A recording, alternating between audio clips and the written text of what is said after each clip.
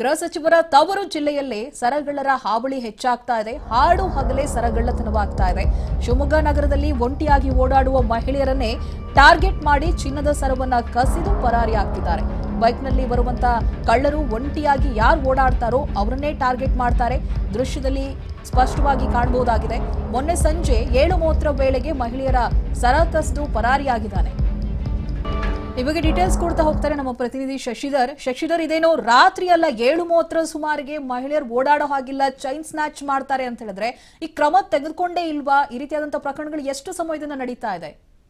ಖಂಡಿತವಾಗಿಯೂ ಕ್ಷೇತ್ರ ಶಿವಮೊಗ್ಗದಲ್ಲಿ ಒಂದೇ ಗಂಟೆ ಅವಧಿಯಲ್ಲಿ ಸುಮಾರು ಐದು ಕಡೆ, ಅಂದ್ರೆ ಮೂರು ಪೊಲೀಸ್ ಠಾಣಾ ವ್ಯಾಪ್ತಿಯಲ್ಲಿ ಐದು ಕಡೆ ಈ ಒಂದು ಸರಗಳ್ಳತನ ನಡೆದಿದೆ. ಅಂದ್ರೆ ಈ ಹಿಂದೆ ಸುಮಾರು ಆರೇಳು ತಿಂಗಳ ಹಿಂದೆ ಈ ರೀತಿ ಒಂದು ಪ್ರಕರಣ ನಡೀತಿತ್ತು. ಇಂಥ ಘಟನೆ ಅಲ್ಲಲ್ಲಿ ನಗರ ಪ್ರದೇಶದ ಅಲ್ಲಲ್ಲಿ ನಡೀತಾ ಇತ್ತು. ಆದ್ರೆ ಇದೀಗ ಮತ್ತೆ ಇಂತಹ ಘಟನೆ ಕಳೆದ ಎರಡು ದಿನ ದಿನಗಳ ಹಿಂದೆ ಮರುಕಳಿಸಿದೆ. ಸಂಜೆ ಸುಮಾರು ಏಳುವರೆ ಎಂಟು ಗಂಟೆ ಸಮಯದಲ್ಲಿ ಈ ಈ ಒಂದು ಏನು ಕೋಟೆ ಪೊಲೀಸ್ ಠಾಣೆ ಇರ್ಬೋದು ದೊಡ್ಡಪೇಟೆ ಪೊಲೀಸ್ ಠಾಣೆ ಮತ್ತೆ ತುಂಗಾನಗರ ಪೊಲೀಸ್ ಠಾಣಾ ವ್ಯಾಪ್ತಿಯ ಮೂರು ಕಡೆಗಳಲ್ಲಿ ಒಂದೇ ಅವಧಿಯಲ್ಲಿ ಐದು ಕಡೆಗಳಲ್ಲಿ ಸರಗಳಿತನ ಆಗಿದೆ ಅದರಲ್ಲಿ ಮೂರು ಮೂರು ಕಡೆಗಳಲ್ಲಿ ಅವರು ಸರಗನ್ನ ಎಸ್ಕೇಪ್ ಮಾಡಿದ್ದಾರೆ. ಈಗ ಇದೀಗ ಆ ಜನರು ಮಹಿಳೆಯರು ಆತಂಕಗೊಂಡಿದ್ದಾರೆ. ಜೊತೆಗೆ ಈ ಒಂದು ಘಟನೆ ನಡೆದ ನಂತರ ಜಿಲ್ಲಾ ಪೊಲೀಸ್ ವರಿಷ್ಠಾಧಿಕಾರಿಗಳು ಲಕ್ಷ್ಮೀ ಪ್ರಸಾದ್ ಅವರು ಕೂಡ ಎಚ್ಚೆತ್ತುಕೊಂಡಿದ್ದಾರೆ ಅಂದ್ರೆ ಇದಕ್ಕಾಗಿ ಒಂದು ತಂಡವನ್ನು ಕೂಡ ರಚನೆ ಮಾಡಿದ್ದಾರೆ. ಜೊತೆಗೆ ಬೇರೆ ಬೇರೆ ಕಡೆಗಳಲ್ಲಿ ಏನು ಜನ ಬಿಡ ಪ್ರದೇಶ ಇದೆ. ಜೊತೆಗೆ ಈ ತರ ಘಟನೆಗಳು. ಎಲ್ಲಿ ನಡೀತಾ ಇದೆ ಅಲ್ಲಿ ಒಂದು ಚೆಕ್ ಪೋಸ್ಟ್ಗಳನ್ನು ಕೂಡ ಈಗ ನಿರ್ಮಾಣ ಮಾಡೋದಕ್ಕೆ ಮುಂದಾಗಿದ್ದಾರೆ. ಪೊಲೀಸರಿಂದ ತಪಾಸಣೆ ಕೂಡ